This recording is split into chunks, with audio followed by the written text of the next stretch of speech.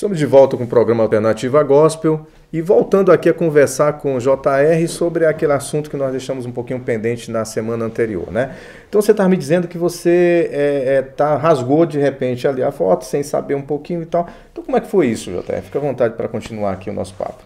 Certo. Quando eu, na verdade, peguei a foto, que rasguei a foto, eu tive a nítida impressão de que realmente meu pai ali estava morrendo ou ia morrer. Aí quando tocou o desespero, eu comecei a gritar, a clamar, pedir para Deus, não permita que isso aconteça. E eu fui ler depois o conteúdo da carta. E minha mãe estava dizendo, olha meu filho, volte para cá, é, você vai para voltar para sua casa, que você... Aí foi quando eu decidi realmente voltar para a casa né, dos meus pais. E quando eu cheguei em Santarém, aí, em Santarém que realmente eu fui abraçado pela igreja, né, a Igreja da Paz, e as pessoas me trataram muito bem. Eu tinha um amigo que congregava lá, me levou e foi muito bom. E lá eu decidi publicamente para estar com Cristo. Né? Então, a partir daí, começou meu processo de conversão. Eu considero que realmente uh, o meu encontro com Deus se deu ali, mesmo é, com aquela questão de droga, tudo, né? mas depois que eu cheguei em Santarém, que verdadeiramente eu tomei, tornei pública a minha aceitação em Cristo Jesus. É o que mudou na sua vida assim?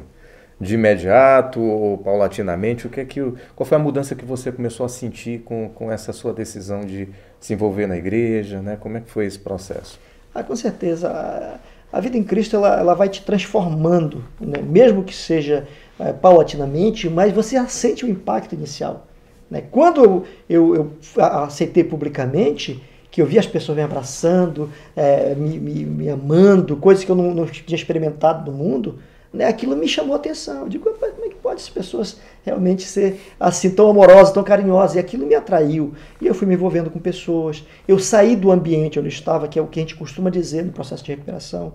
Eu parei de andar com as pessoas que eu andava, né, que usavam droga. Eu, passei, eu parei de andar no ambiente aonde tinha drogado droga. Eu, eu passei a andar em lugares onde pessoas falavam de Deus, onde via uma vida saudável, onde não tinha droga. E a mentalidade era completamente outra. Isso foi mudando também a minha forma de pensar. Lógico, através da palavra de Deus eu fui renovado, né? eu comecei a entender que eu era uma nova criatura, que eu agora tinha uma nova mentalidade, que meu comportamento tinha que ser outro. Tudo isso foi é, se, se, levantando dentro de mim e isso foi um processo. Mas claro que realmente a, a, o primeiro momento é impactante para a gente, né? impactante, é um encontro com Deus. Então foi realmente assim que Deus começou o trabalho da minha vida. Muito bom, mas aí, é, é, JR, ainda ficou ainda a questão, uma, algumas questões pendentes, pendentes. né? É, a questão do seu filho, né? a questão da sua esposa, como é que aconteceu essa aproximação? Porque tudo isso que você está falando estava é, centralizado ali em Santarém, né? Isso. Aí como é que surgiu esse processo de recuperação da sua família? Foi depois que você veio para Roraima? Como é que você chegou em Roraima aqui?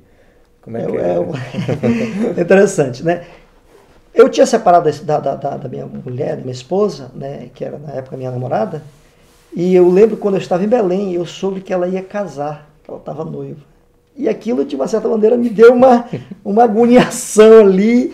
E eu digo, eu fiquei. Eu, foi exatamente nesse período do meu encontro com Deus. Quando eu voltei para Santarém, eu comecei a acreditar, Deus, olha, se o Senhor realmente é, quer restaurar meu relacionamento, eu, eu vou confiar em Ti. Vou confiar em Ti. Nós tínhamos um filho já, né? E eu fiquei, aí foi quando eu senti né, de vir até Manaus e nós conversamos. Né? Ela já tinha desfeito o noivado, que ela ficou noiva, né? e, e, depois nós começamos a conversar. Aí eu falei, mas só voltando, Claudio, antes, no dia que eu tomei a decisão publicamente, eu liguei para ela. Né? Eu liguei para ela, que ela não sabia o que tinha acontecido na minha vida. Eu disse assim: olha, a partir de agora eu sou crente. Na realidade, eu liguei à tarde, quando foi à noite, eu tomei a decisão. Eu disse: eu sou crente agora. Aí ela riu da minha cara, disse, não acredito, você é crente? Eu disse, é, eu crente, estou seguindo agora Jesus Cristo.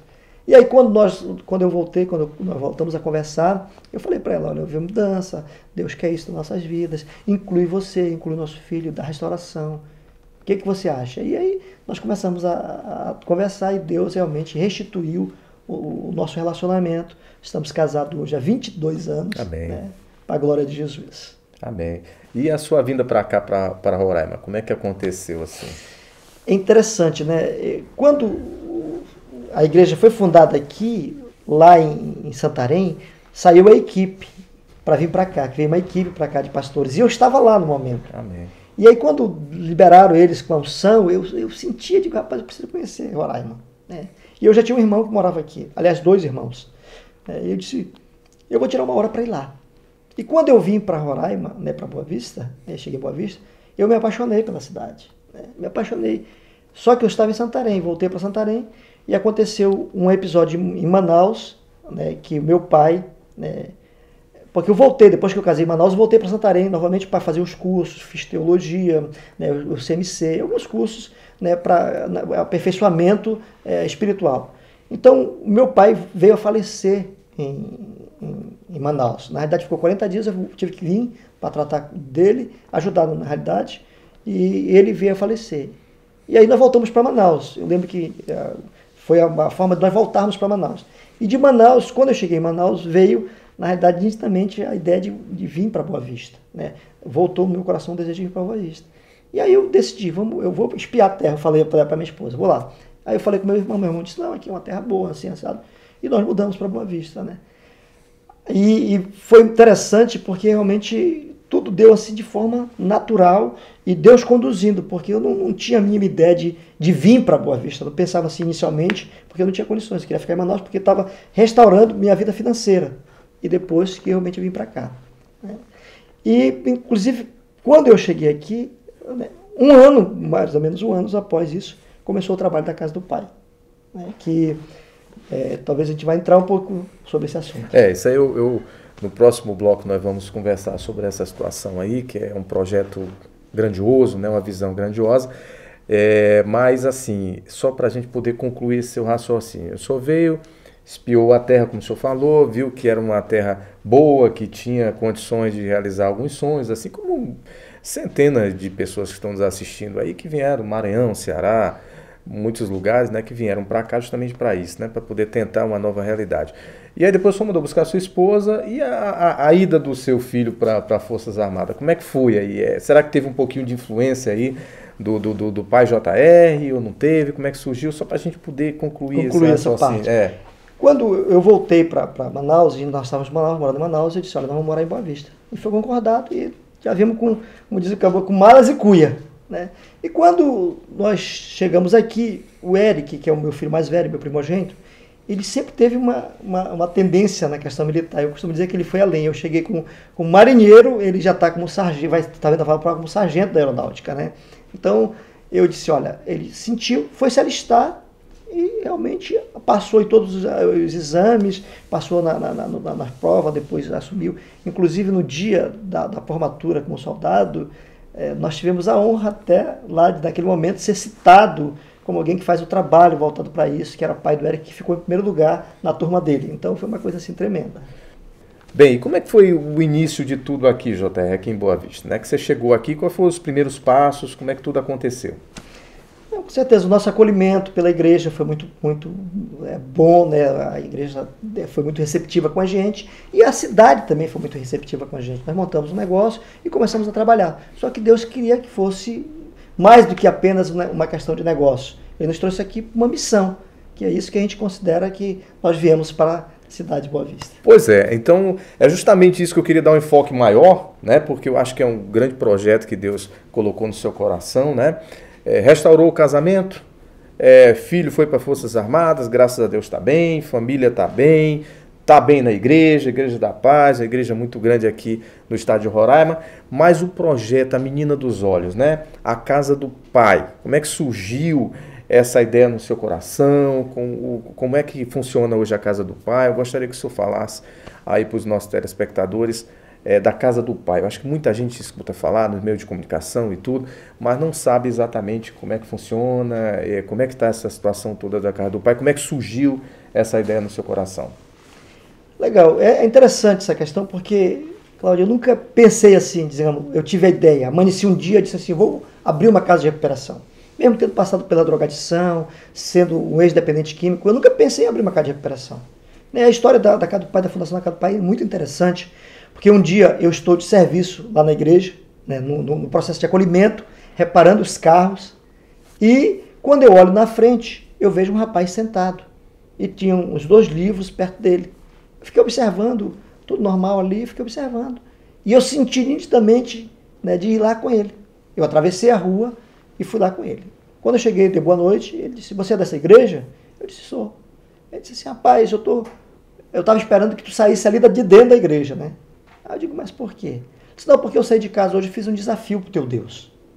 Né? Disse: Eu sou um dependente químico, estou é, desesperado, saí de casa, acabou meu casamento, acabou tudo, eu não tenho mais nada e eu vim aqui fazer um desafio. Se eu não tiver uma resposta, eu vou sair daqui e vou me matar.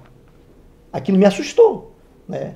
E aí eu disse, que é isso, rapaz? Nós começamos a conversar, né? começamos a conversar, conversar, e contei minha história para ele também sobre drogadição, e a gente começou a se identificar.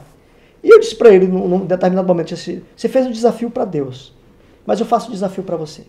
Se você entregar a tua vida para Deus, para Jesus Cristo, Ele vai mudar a tua vida. Ele disse, vai mudar a minha vida? Eu digo, vai. E se você entregar a tua vida para Jesus, eu vou te ajudar, né, te acompanhar nesse processo. Aí legal. Ele, ele topou, nós atravessamos a rua, estava né? na hora do apelo para ele entregar a vida para Jesus. Na hora que a gente vai chegando na porta, né? ele segura no meu braço e diz assim: JR, eu sou ladrão, eu sou assassino. E começou a enumerar o que ele era. Ele disse: Você vai me ajudar? Eu disse: Eu vou te ajudar. E aí nós entramos e entregou a vida para Jesus. E daí, na verdade, começou uma luta. Que muitas vezes ele, não, não, ele recaía e eu pegava uma, duas horas, ele ligava para mim, eu ia numerar buscar ele. Né? Aí, três horas da manhã, aí a família deu mais uma chance e aí nós começamos a acompanhar. Só que era difícil para ele, né? Difícil sair num, num, processo, sabe, intensivo de drogadição. E ele disse: Olha, rapaz, eu preciso me internar. E eu disse: Meu irmão, mas aqui em Boa Vista, na época, nós não tínhamos nenhuma casa de recuperação. Houve o Provida, que eu acho que o Alexandre lembra, né, que era do pastor Bartolomeu, e mas fechou e depois disso não, tinha mais, não teve nenhuma casa. Eu disse, eu não tenho dinheiro para pagar uma internação. Sei que Manaus tem e conheço. Mas aqui eu não conheço ninguém que tem uma casa de internação. E aí surgiu a ideia, disse assim, não, eu tenho uma casa. Na realidade, ele apareceu depois, ele foi trabalhar comigo, esse rapaz, e aí um dia ele apareceu com outro rapaz lá, disse assim, olha, eu e ele, nós queremos internar. Eu digo, mas aonde, como? Ele disse assim, eu tenho uma casa lá no São Bento, e a gente vai para lá. Aí eu digo, tá bom. Eu coloquei ele no carro e nós fomos para lá para casa. E o acordo era de ficarem 40 dias lá. Eu disse, vocês vão ficar 40 dias aqui, eu vou ficar ajudando vocês, uh, acompanhando, trazendo alimento, dando uma palavra. E eu lembro que a gente ia para lá, reunia com ele, dava alimento, pegava o violão, tocava, lia a palavra de Deus para eles. E eles, resumindo, eles ficaram 10 dias apenas, dos 40 que a gente tinha combinado. E depois saíram e foi embora. Aí eu disse, olha, o nosso acordo que era vocês ficarem 40 dias. Então eu estou livre, eu não tenho nenhuma uma questão com vocês mais. Só que o outro que foi com ele chegou um dia em casa já com outra pessoa. Né? Disse assim, olha, nós queremos internar. Mas como? Disse, não, vamos para minha casa. Era uma casa da Manjoal Willis, né? e nós fomos para lá. E aí começou. Vê ele, vê outro, aí daqui a pouco tem três, tem quatro, tem cinco, né? E ficou, começou a tomar proporções. Foi quando a igreja, né, conversando com o pastor Sabá na época, né, disse assim, olha, até nós podemos ajudar, nós vamos ajudar vocês nesse processo, a igreja vai assumir algumas coisas financeiras, que nós passamos a ter um aluguel, até mesmo ajuda para manter aquele, aquelas pessoas ali. E aí realmente começou, né, o projeto, considera que começou aí o projeto Casa do Pai. Claro que surgiu antes com toda essa história, a gente mudou ainda aqui na cidade né, para uns dois lugares, fomos para a Viana e depois para o Buriti. Mas a gente entende que aquele ditado que diz, longe dos olhos, longe do coração. Dentro da cidade, é, quem está num processo é, compulsivo da drogadição é um pouco difícil. Ele tem que se afastar um pouco do ambiente para que possa refletir, e mesmo que ele volte depois, mas ele precisa refletir sobre isso. E aí foi quando surgiu a ideia da igreja né, ceder o espaço para a gente, pastor, cedeu o espaço. Hoje nós, nós estamos funcionando, é um espaço da Igreja da Paz que cedeu para nós.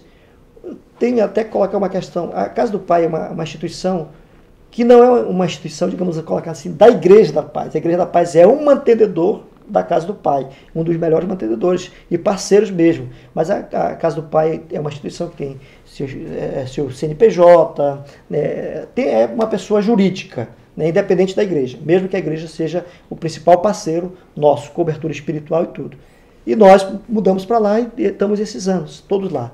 Estamos agora com o terreno, que é um projeto de construção do nosso espaço. E a gente realmente crê que vai acontecer isso o mais rápido possível, que é a construção do nosso próprio espaço.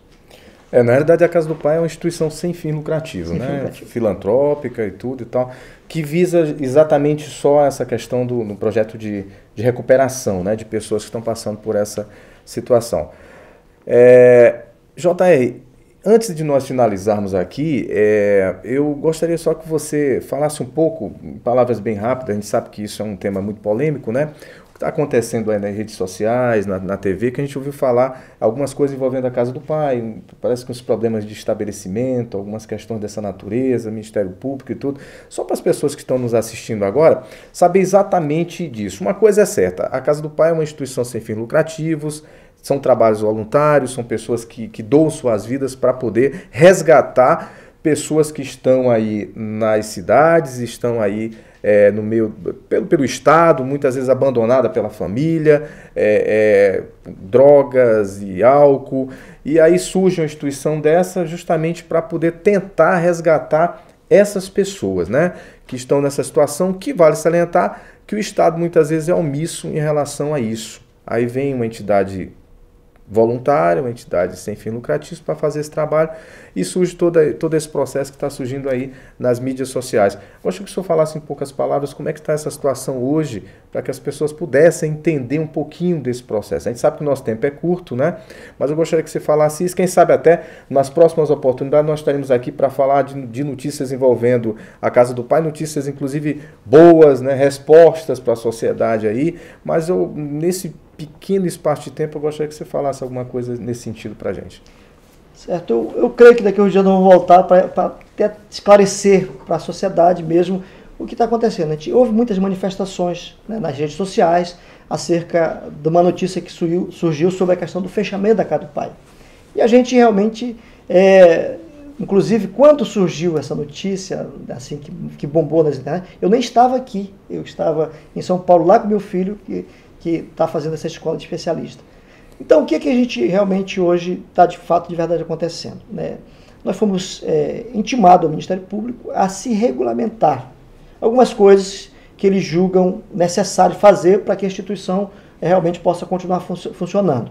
Lógico as instituições, através da Visa, é, regida pela Resolução 29 de 2011, surgiu uma nova agora, e a gente está se enquadrando mas como nós também, existem outras instituições dentro do Estado que também estão se enquadrando para isso. Né?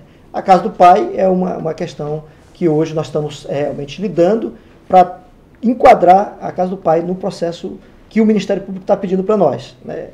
Então nós estamos fazendo tudo o que é possível dentro daquilo das nossas limitações e estamos é, daqui a alguns dias assinando um, um TAC, um termo de ajuste de conduta, com o Ministério Público para poder realmente se enquadrar e funcionar de acordo com aquilo que eles pedem. É claro que eu vou falar um pouco mais acerca disso no próximo, quando tiver uma próxima oportunidade, mas nós temos que entender, e eu quero colocar isso talvez claramente aqui, que a instituição Casa do Pai é uma instituição filantrópica, como você colocou, sem fim lucrativo, que busca a restituição de vidas, principalmente através de um despertar espiritual.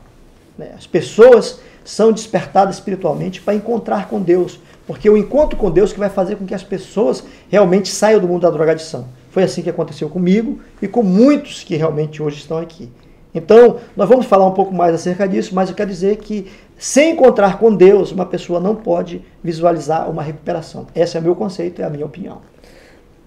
Maravilhoso, né? E eu quero aqui já intimar, tá certo, o JR, para numa próxima oportunidade, assim que sair esse processo do TAC, né, que tiver mais ou menos resolvida essa questão, tá certo? Tá certo. Viremos com o maior prazer, com certeza. Obrigado pela oportunidade, né? E, e, e desejar a todos né, um dia de alegria, de paz, de felicidade na presença de Deus. Até mais, uma excelente semana para você.